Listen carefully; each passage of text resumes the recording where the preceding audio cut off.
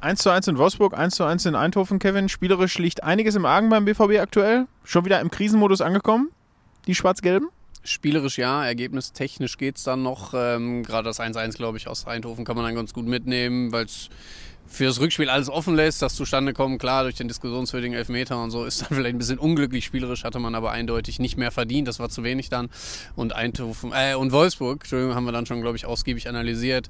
Borussia Dortmund hat sich spielerisch nach wie vor nicht gefunden. Ähm, dementsprechend hakt es da doch noch an einigen Ecken und Kanten. Da kommt es jetzt vielleicht ganz gelegen, dass mal wieder ein Heimspiel ansteht. Gegen Hoffenheim, die ja auch äh, in diesem Jahr sehr überschaubare Leistungen bringen, glaube ich, seit acht Spielen auf den Sieg warten. Trainer Materazzo auch äh, ordentlich in der Kritik.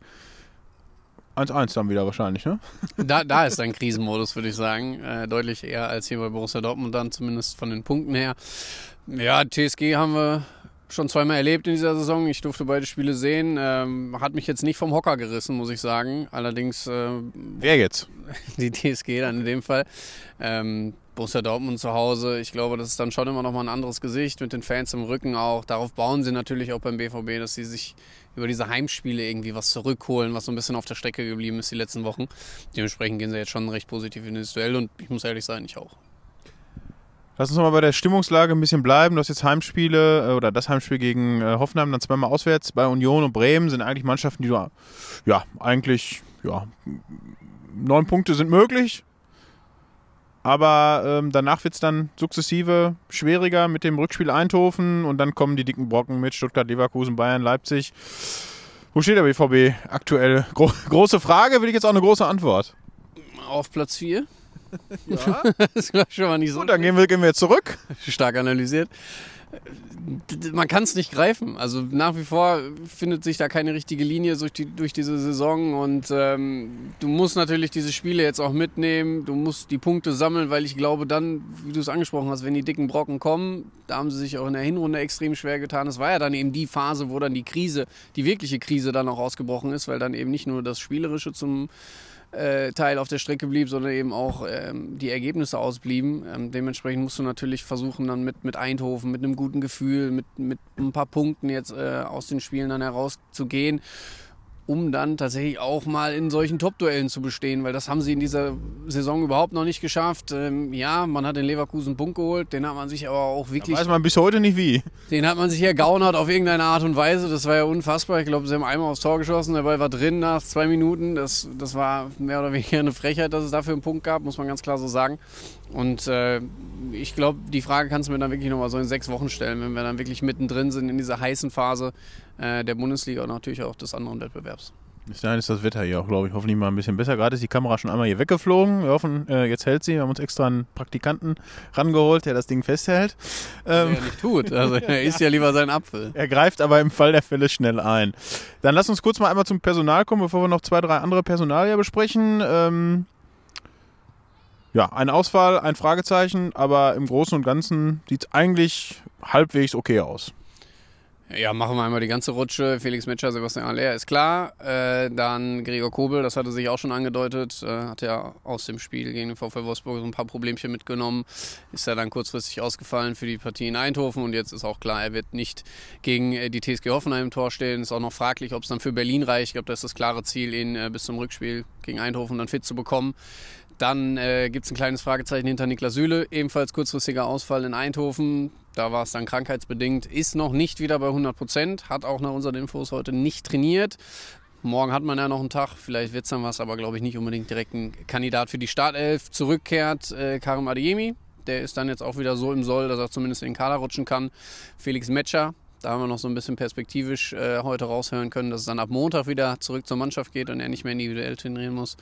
Und dann gibt es tatsächlich noch einen Ausfall, der über mehrere Wochen sich ziehen wird. Das ist der von Samuel Bamba. Ist jetzt vielleicht nicht unbedingt für die BVB-Profis äh, so von großer Bedeutung in der aktuellen äh, Situation, wo dann auch die Spieler zurückkommen, aber für die U23 natürlich bitter und auch für ihn persönlich. Ähm, er hatte sich ja dann hier jetzt auch den einen oder anderen Profi-Einsatz erarbeitet. Für ihn jetzt ein Rückschritt, Muskelfaserriss, wird mehrere Wochen fehlen. Gut, dann haben wir das Personal abgefrühstückt. Äh, dann gucken wir nochmal auf zwei, drei Spieler, die aktuell im Fokus stehen. Ähm, erster Linie Emre Can. Kriegt aktuell viel Kritik ab. Meiste auch zu Recht, muss man sagen.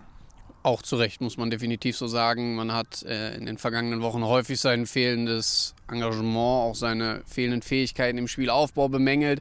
Mittlerweile ist leider auch zum Problem geworden, dass die defensiven Aufgaben nicht mehr funktionieren. Also er wirkte jetzt gerade auch in Eindhoven mit vielem überfordert. Ähm, da hakt es an, an vielen Punkten tatsächlich. Ich glaube auch, dass Edin Terzic es wahrgenommen hat. Ich würde jetzt sagen, dass er gerade auf äh, meine Frage bezüglich Emre Can dann auch so ein bisschen versucht hat, natürlich ihn in Schutz zu nehmen, aber hat dann auch schon gesagt, er steht halt mit auf dem Platz und er muss Teil dieser Lösung sein, dass es eben ähm, bei Borussia Dortmund dann noch besser läuft keine einfache Situation für ihn. Ich glaube, ihm wird auch nicht gefallen haben, dass gestern Toni Kroos seine Rückkehr bekannt gegeben hat in die deutsche Nationalmannschaft. Vielleicht hat sich Emre Can auch äh, trotzdem noch so ein paar Resthoffnungen gemacht auf die Als EM. Nationalspieler des Jahres. Als Nationalspieler des Jahres. Ähm, das ist jetzt, glaube ich, auch erstmal vom Tisch durch diese äh, Nominierung des äh, ehemaligen Nationalspielers, also jetzt neuen Nationalspielers dann wieder. Also keine einfache Situation für ihn gerade. Man muss aber einfach ganz klar sagen, er trägt die Binde. Also da brauchst du jetzt Verantwortung, da muss er vorweggehen, der muss an sich arbeiten, an, in allen Bereichen tatsächlich ähm, und deutliche Steigerungen zeigen. Er hat aktuell noch so diesen kleinen Vorteil, dass er irgendwie doch dann trotzdem der beste Sechser im Kader ist. So richtig Druck von hinten mit Sali Özcan kommt nicht, Felix Metscher fehlt natürlich, Marcel Sabitzer kann die Rolle dann in dem Fall auch nicht richtig auskleiden und ja, trotzdem muss da deutlich, deutlich mehr kommen. Ja, zweite spannende Personalie oder äh, immer ein Thema, über das man beim BVB spricht, das ist seine Rückkehr, Jaden Sancho. Ähm, ja, die Anfangseuphorie ist so ein bisschen verflogen, ähm, aber wenn man es realistisch rückblickend betrachtet, es ist jetzt so gekommen, wie man oder wie es sehr wahrscheinlich war, dass er jetzt hier nicht die Sterne vom Himmel spielt, sondern ja, ist auch äh, viel Arbeit dabei, viele Sachen, die früher locker von der Hand gingen oder vom Fuß, die klappen aktuell nicht. Macht natürlich trotzdem immer noch Spaß, wenn er den Ball gut runternimmt und so die ersten zwei, drei Schritte dann auch passen und gut aussehen. Aber ja, man merkt ihm an, dass er lange, lange Zeit keinen äh, professionellen Fußball gespielt hat, viel für sich individuell trainieren musste. Ähm, es sind diese Anpassungsprobleme, die du dann natürlich auch wieder hast hier in der neuen Mannschaft, auch wenn er natürlich viele Abläufe, viele Leute auch schon kannte hier in Dortmund, ist das dann trotzdem nochmal was Neues nach so einer langen Pause. Und du hast es gesagt, er befindet sich jetzt genau auf diesem Level, wie wir ihn eigentlich alle erwartet haben, dass er diese erhoffte Kompletthilfe sofort ist. Das, damit konnte man einfach nicht rechnen, da konnte man auch nicht von ausgehen. Da sind sie, glaube ich, auch bei Borussia Dortmund nicht von ausgegangen, wenn sie ehrlich sind. Sie sind, Aber ein bisschen träumen durfte man ja. Träumen durfte man und natürlich wird es dann auch befeuert. Erstes Spiel, Spiel fünf Minuten, legt auf den alten Kumpel Reus rüber und dann, dann könnte natürlich so ein bisschen was entfachen. Aber man merkt natürlich, je länger er auf dem Platz steht, desto müder, desto schlapper wird er auch. In Eindhoven, finde ich, ähm, hat man das dann auch relativ früh schon gemerkt, dass so die Luft raus war, gerade für die 1 gegen 1 Situation, wo er dann doch früher derjenige war, der den Gegenspieler auch mal gerne hat stehen lassen. Das fällt ihm alles aktuell schwer, trotzdem kann er Borussia Dortmund natürlich noch viel geben. Sie sind jetzt erstmal froh, dass er wieder beschwer beschwerdefrei ist. Das war ja auch noch so ein kleines Thema, muskuläre Probleme. Ja, aber man kann jetzt äh, ein Zwischenfazit ziehen und sagen, es ist alles so gekommen wie befürchtet, muss man leider sagen. Und es ist noch nicht äh, ja, der Jaden Sancho, wie wir ihn alle kennen aus alten Dortmunder Zeiten. Gut, und zum Abschluss sprechen wir noch über den Trainer, Edin Terzic.